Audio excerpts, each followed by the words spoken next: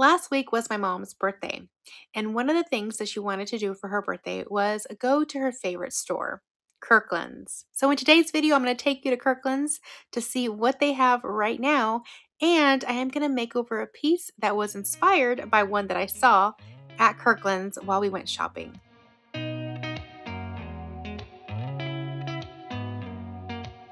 Hey there, my name is Yami. I am your Latina next door. Welcome back to Mi Casa, where I share high end home decor and DIYs on a budget, as well as extreme before and after room transformations. If that's something you enjoy, please make sure to hit like and subscribe so that you too can become part of the familia. So, as I mentioned earlier, this is going to be a shop with me video, but it's also going to have a furniture flip. I found this piece of furniture for only $20 on a Facebook marketplace. And it's a solid piece of furniture. It had great bones. The only issue it really had was that the doors didn't quite fit on it properly. So I thought for $20, this was a perfect piece to add to my other side of the dining room. And while I was at Kirkland's, I actually found a piece that I really, really liked. It was something totally different from what I have in my house. And I thought I would give it a try with this Facebook Marketplace find. So I hope you enjoy coming along and then transforming this piece of furniture with me together. So, upon entering the store, uh, this dinnerware set immediately caught my eye. You all know I'm a sucker for blue and white, and florals are just so beautiful to me. However, at $6.99 a piece, it was a little too expensive for me. And this was the fourth store, if I remember correctly, we had been to that day. So, of course, my kids took advantage of the seating. I was really enjoying the warmer tones that they had throughout the store and all of this textured wood. It wasn't smooth painted surfaces. There's a lot of texture and different angles and strokes. And they had a ton of these decorative spears everywhere. Now at $60, I did think these arrangements were a little pricey. And this piece of furniture was really beautiful. I like how it was nice and textured and it had the two toned and it was $400.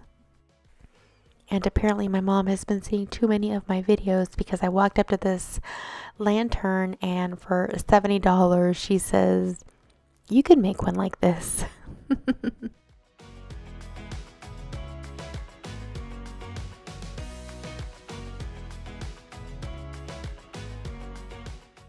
They had a lot of beautiful cushions. However, they were priced at $34.99 a piece.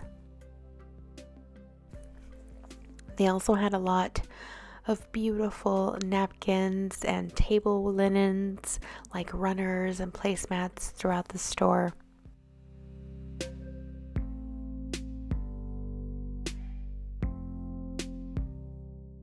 And I absolutely loved this lamp that I saw. I love the texture of it and, of course, the light colors. And I'm hoping that perhaps one day I can do something inspired by it. Their selection of baskets was really beautiful and they had a lot of really large ones. However, they were pricey, and this one right here, you will see it was $99.99. Oh, look, more spheres. This time uh, they were blue and white.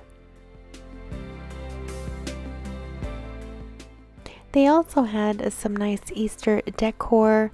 I'm not really a fan of going all out for each and every season. It does get kind of pricey, but I did like these light up little eggs. They had a really nice simple pattern to them and they were only $9.99 and these larger ones right here were $16.99. They also had some beautiful artwork throughout the store as usual. I love this tall coastal one as well as the flowers. And my mom actually took home this pretty print right here. I have been really into more of these floral paintings and there was another really beautiful one right behind my mom's print. And then my oldest daughter pointed this one out for me. And here are some more of their artwork. And here are some more of their art pieces.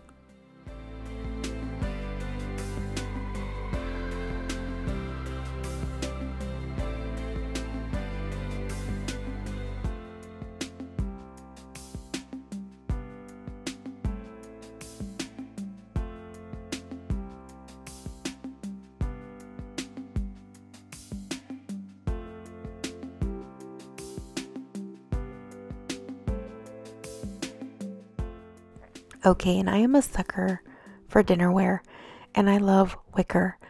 But wow, these were $8 a glass. Holy moly. If you break one of these, you're going to be crying. Or let's just say, if your kids break one of these, you're going to be crying. This one is $10 a glass. Holy cow. These were a little bit pricey for me.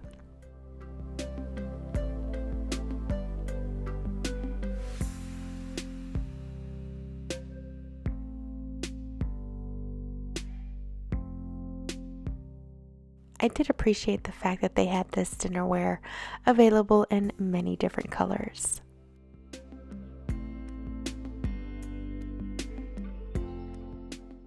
And of course, the furniture is beautiful as always. I am loving this light wood with this gray. And I actually just bought a chair that looks just like this, except for the colors, at Goodwill for only $5. And guess what I came across? The mirror that I just duped.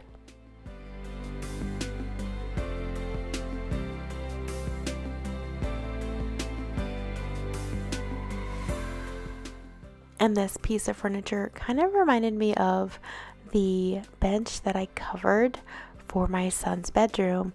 The pattern of the fabric looks very similar.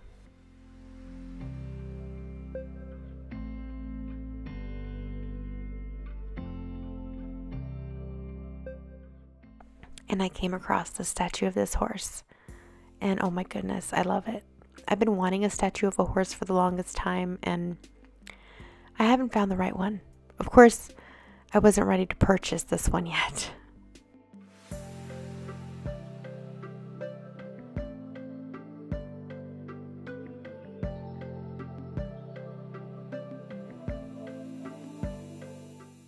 They had beautiful floor lamps, and this one was $140. Almost as much as this table, which was 150.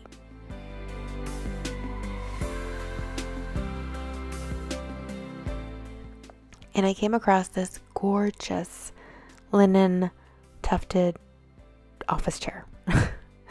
and it was $400. It was funny, somebody mentioned in my last look for last video that Kirkland's wasn't a high end store. Now, it may not have started off that way.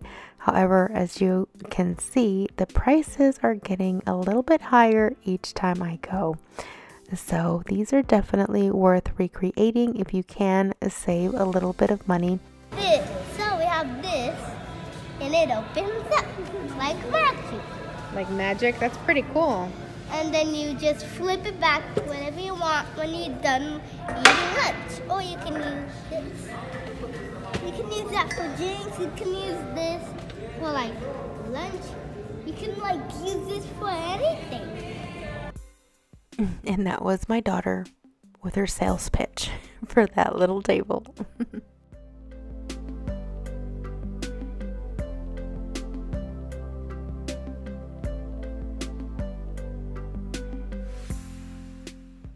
Oh, look, more spheres.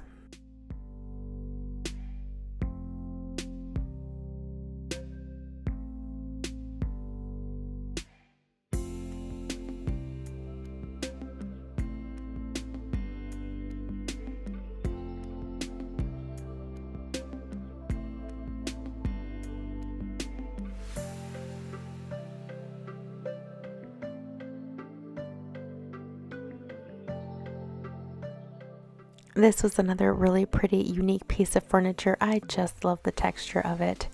And this one was going for $4.99.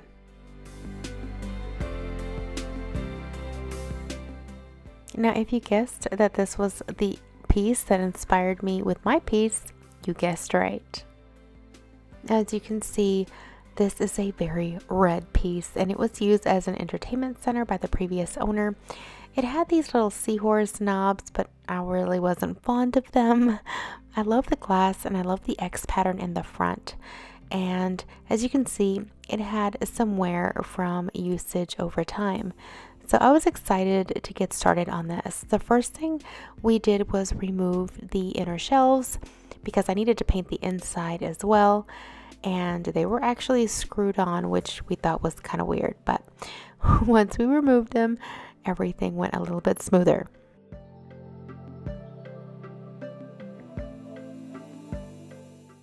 For this, I decided to use DIY paint in the color Letterpress Gray, which is a beautiful gray color.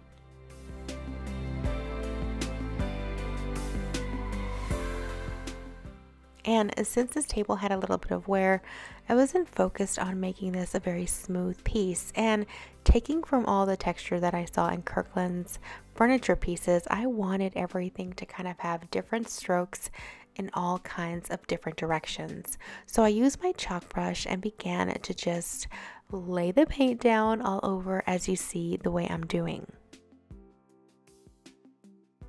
As you know, I sell DIY paint on my website, thelatinanextdoor.com, and I will have a link to my online store in the description box below. Now you can lay this paint pretty thick or you can thin it out.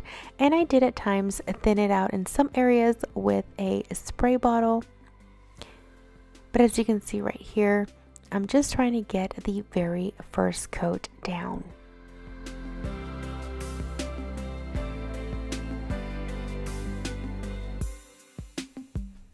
Now for DIY paint, in most cases you don't need to do anything to your surface in preparation except just make sure that your surface is clean, which I did go all over this piece and wipe it down thoroughly.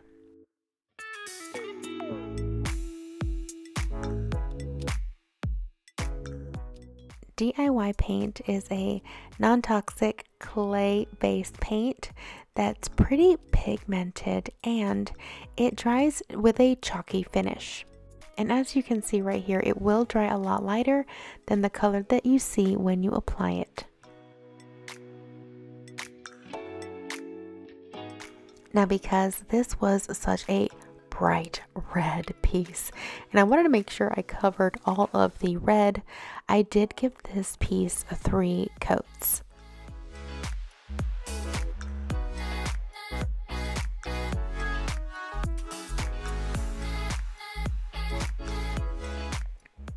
Now for the doors, I wanted them to be a little bit darker, just like my inspiration piece. So I actually had some sample paint from a DIY paint.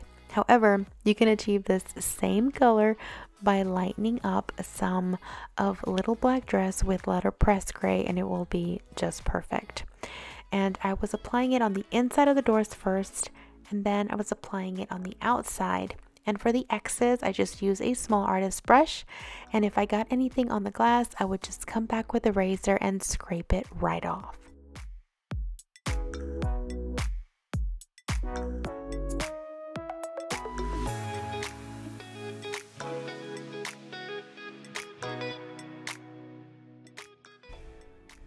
When everything was dry, I gave the actual piece, not the doors, but just the piece, a light sanding with a 220 grit sanding block. And then what I did was I came back and I wanted to accent the edges. Instead of distressing this piece, I found out that I couldn't because the red was so thick underneath that every time I tried to sand it down, all you would see was red. So instead, I took some of the darker color from the doors and just took a small artist brush and began brushing it on all of the edges where it would naturally wear or if I would sand this is the areas where I would sand. So I just began going around dry brushing using the side of my brush to accent all of the little edges throughout the entire piece of furniture.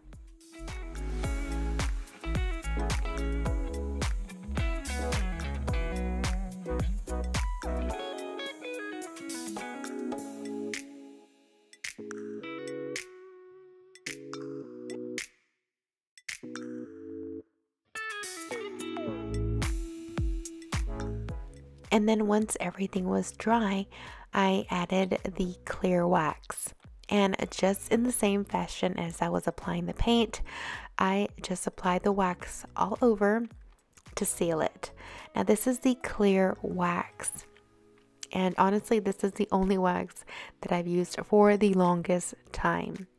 Now, what you do is you apply it all over generously, and it will look splotchy in some areas. This is totally normal. And what you do is you let it sit overnight, and the following day, you come back in with a lint free cloth and you buff everything out, and it will give you the smoothest sheen. Now, I forgot to mention that I did add the doors back on. Nelson helped me install the doors back.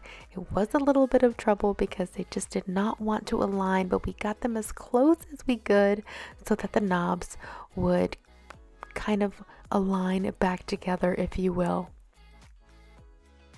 And as you can see, as you apply the clear wax, it does bring out more depth out of that color. It brings it back to life.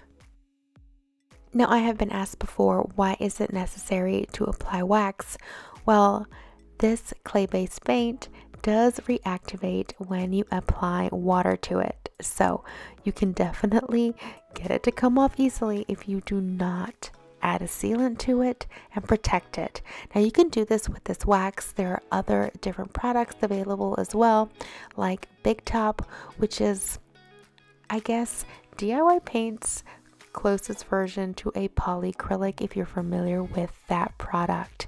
And you would use Big Top if you want a little bit of a glossier finish and also a harder finish if you're going to use your surfaces or they're going to sustain more wear and tear. But for this piece, wax will do just fine. Now, as you can see here, I am buffing the piece. This is the very next day and I'm just going around all of the painted areas and trying to get the nice buff on the surface.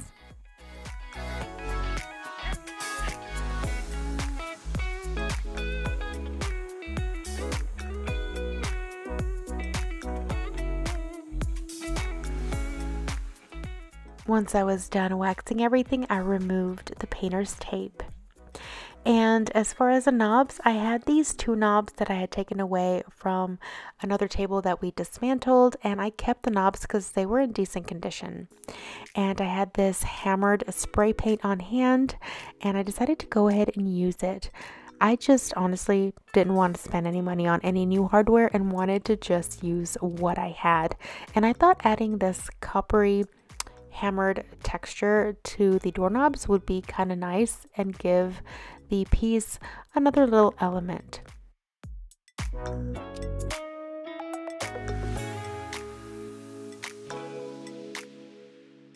Now after I put these knobs back on, all I needed to do was fill it up with some of the things that I needed to store and add a few finishing touches and it would be complete.